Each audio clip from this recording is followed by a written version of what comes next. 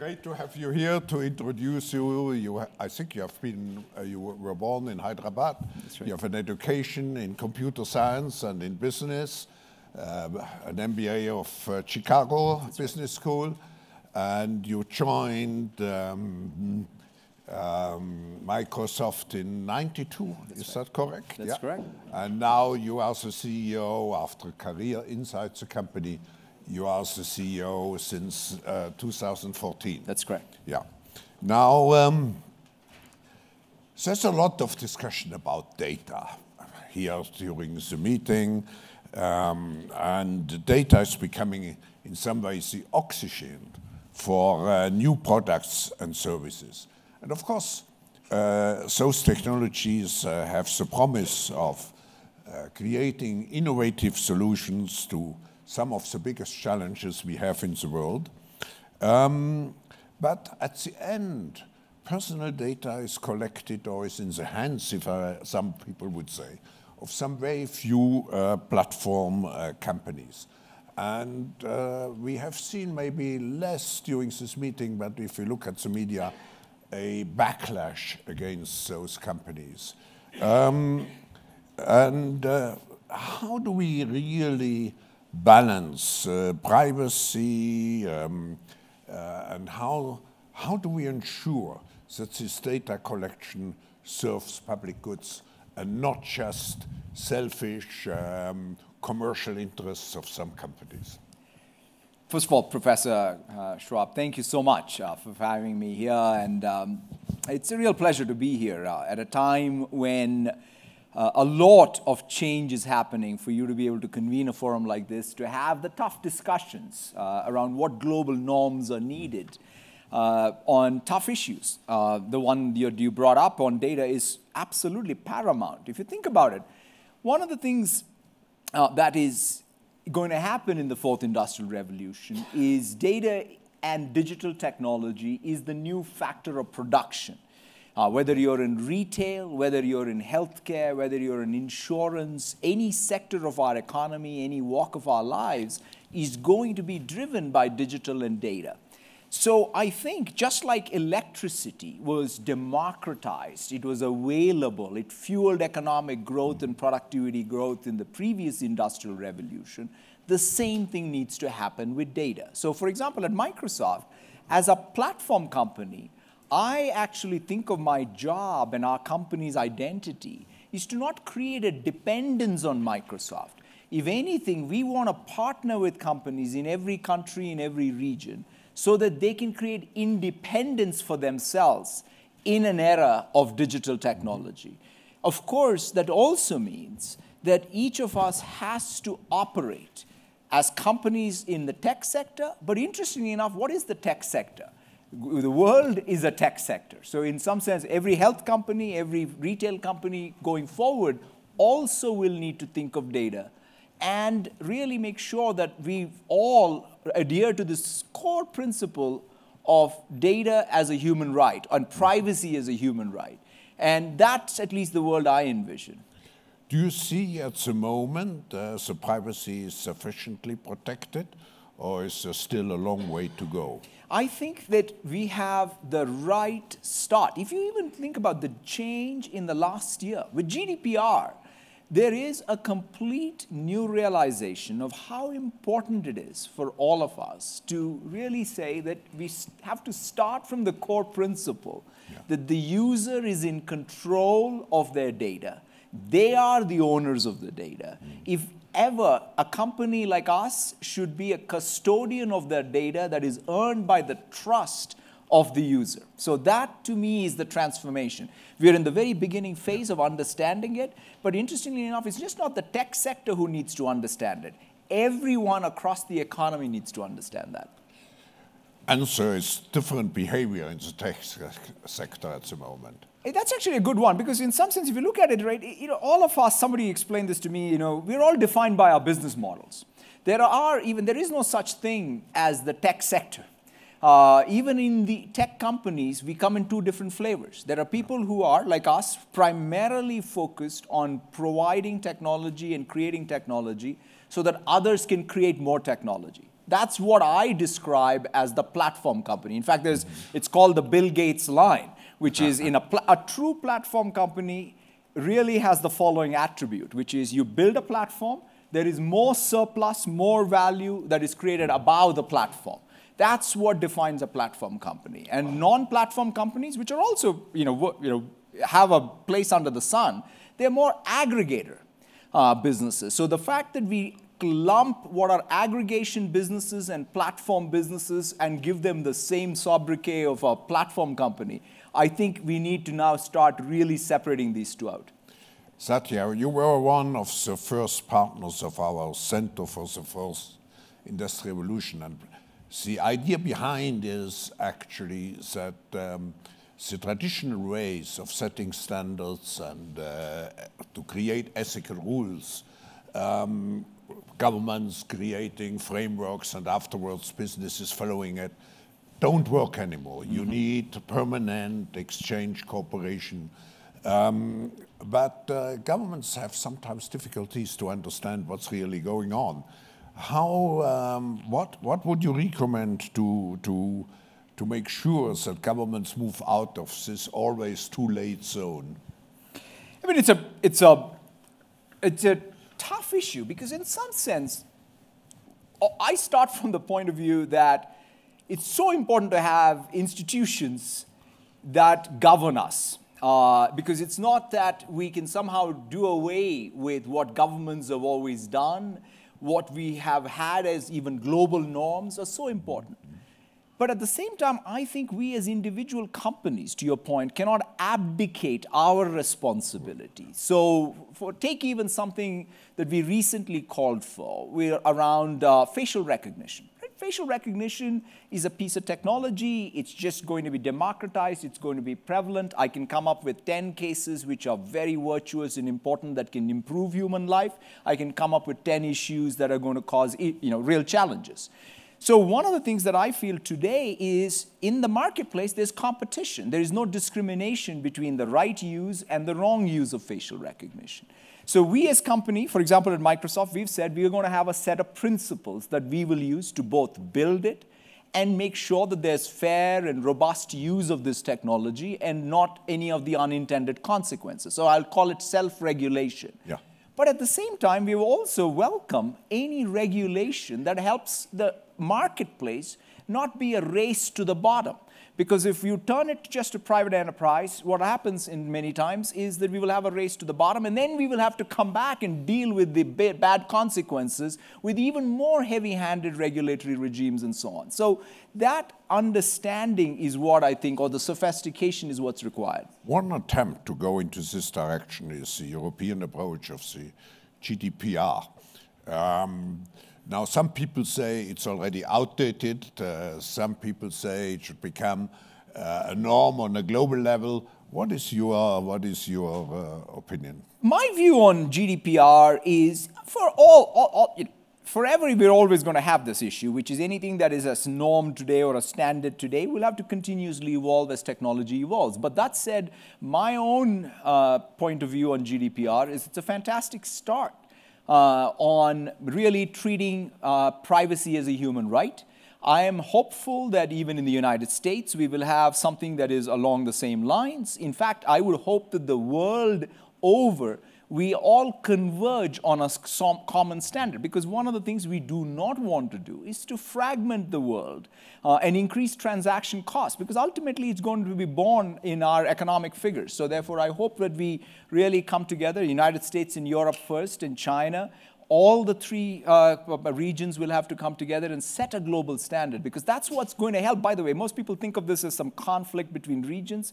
It's not. In a digital world, for of course, every country should put their country's interests, every region should put their interests first. But the digital world will help all of us grow if we realize that it's a connected world to start with. Now, if uh, we, we take, as, we look at the black box algorithm, as some people say, uh, of artificial intelligence or machine learning, um, when we do not know uh, really what the result is coming out, uh, how do we ensure that the result is ethical? Yeah. Because it's, Uh, so norms is one issue, but let's say ethical rules is the other issue.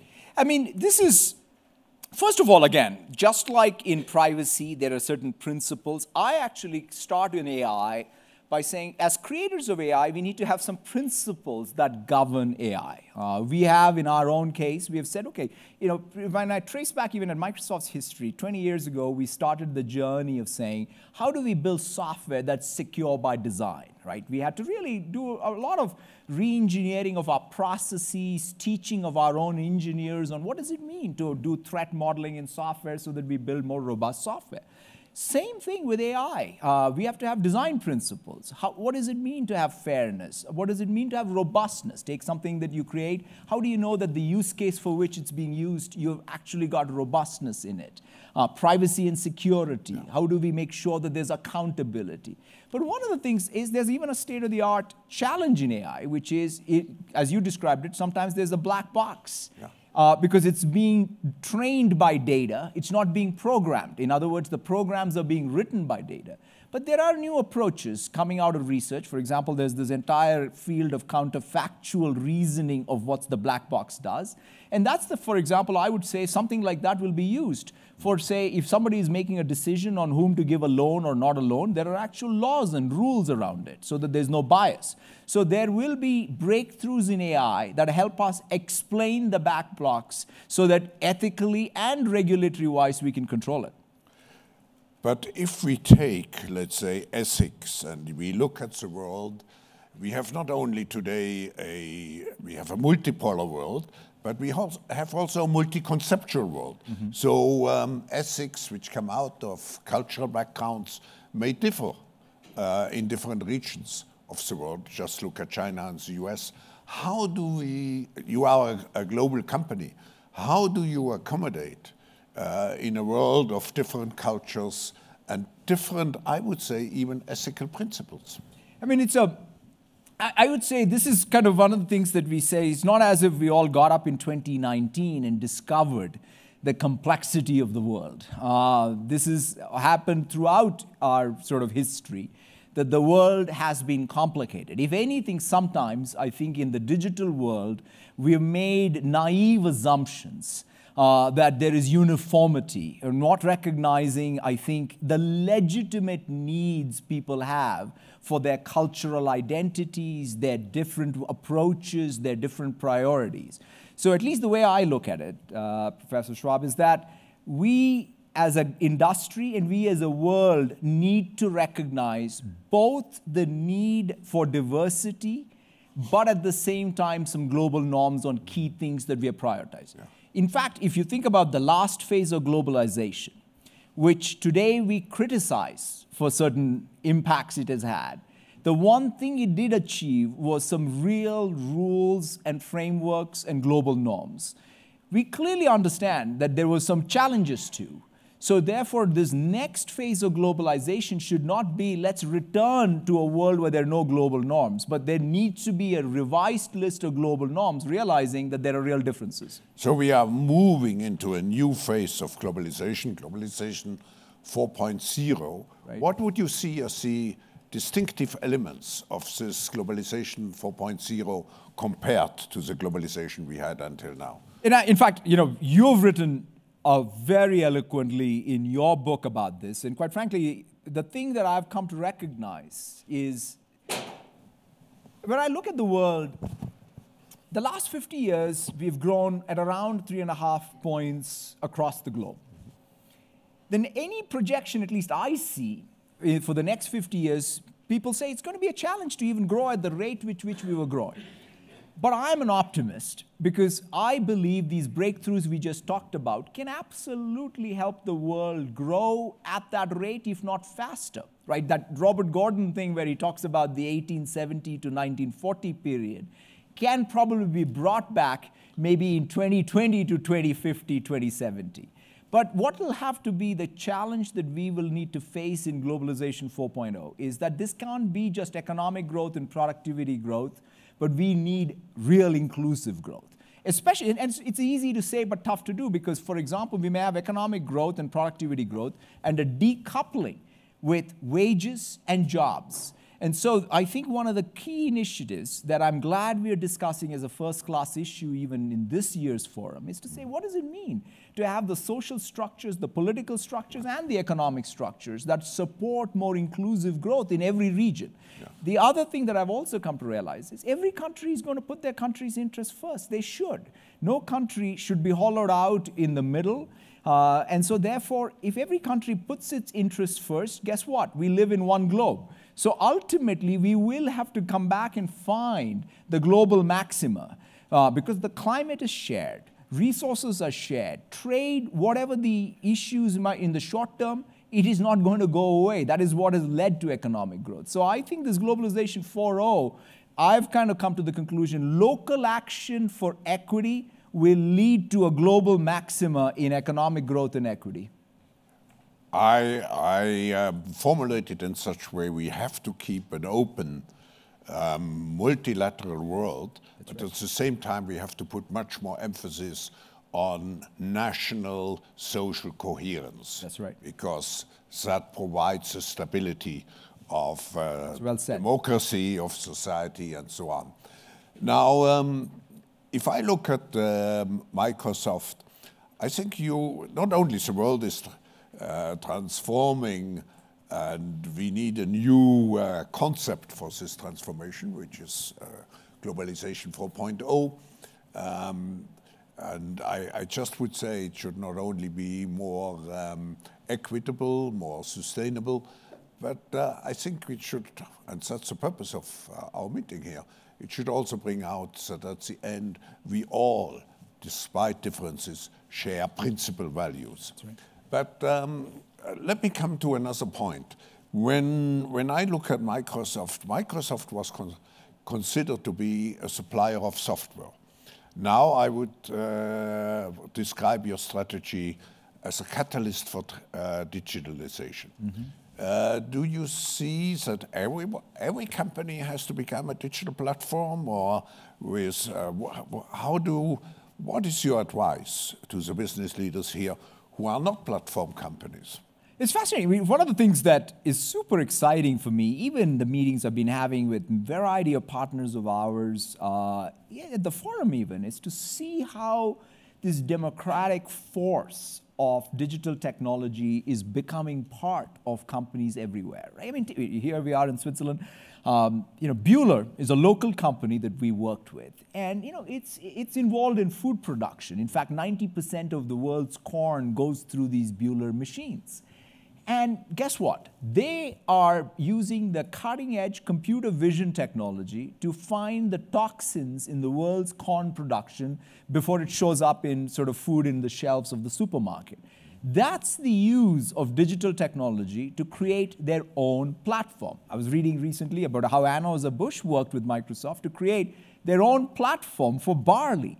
So even agri agriculture, which is the oldest industry that we know of, is being transformed as we speak using digital technology, and they themselves are building their own platforms. So I absolutely think whether it's BMW or whether it is Anheuser-Busch, whether it's Bühler, they're all totally in control of their own destiny using this new factor of production. So that's, I think, by the way, for me, so important. I describe it as tech intensity. For example, one of the things that I believe in the fourth industrial revolution is um, in fact, if I sort of slightly digress, there's this economist out of Dartmouth who did a longitudinal study uh, of diffusion of technology in the previous industrial revolutions. And the simple formula they found was that if you have a country that takes the best innovation, brings it into their country, and then builds on it new innovation, then that's how countries can prosper and companies can prosper.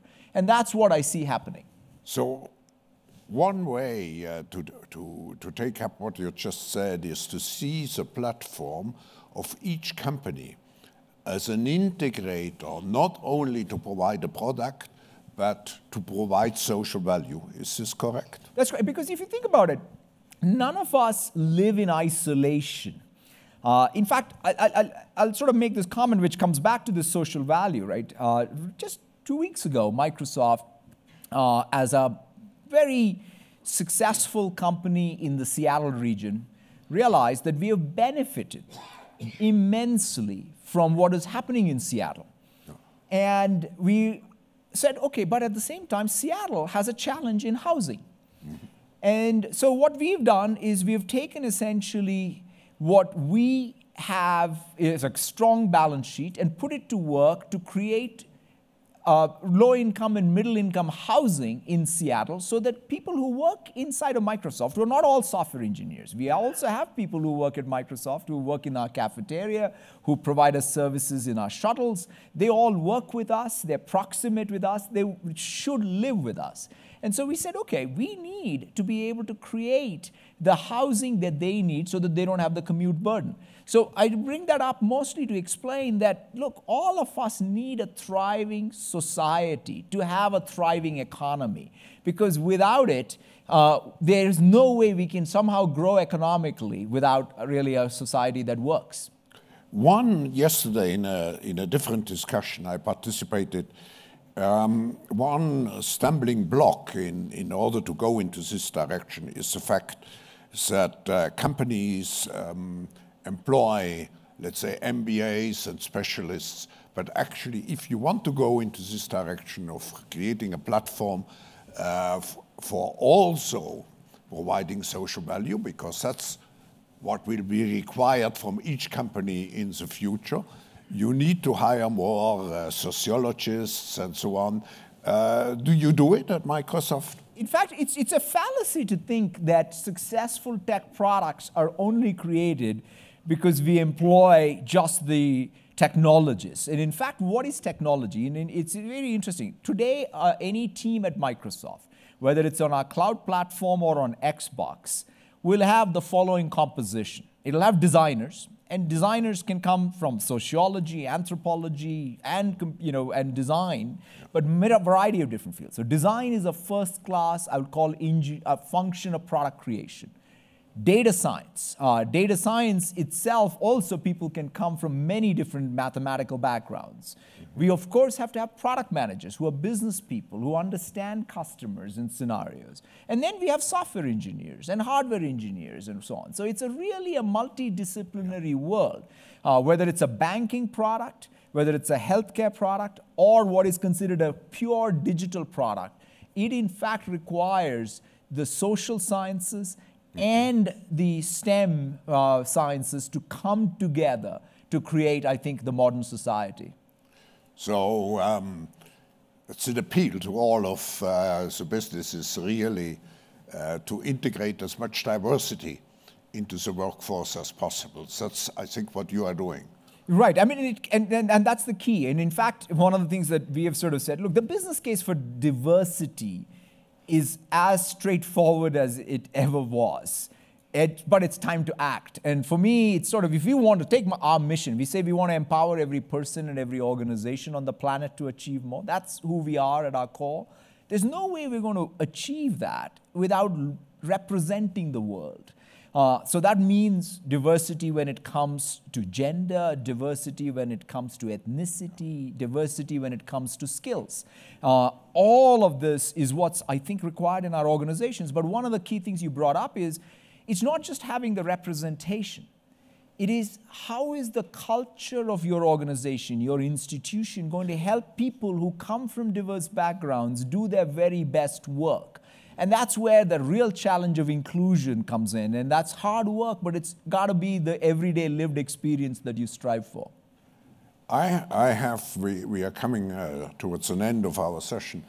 Um, I have two uh, questions. Um, one is if we look at the 10 foremost platform companies, um, they are either American or uh, Chinese. What would you tell uh, the European politicians and business leaders how to catch up? I mean, it's a.